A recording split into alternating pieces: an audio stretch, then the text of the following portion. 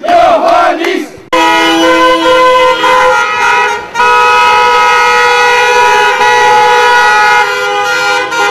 Băile Govora este încă un triumf liberal.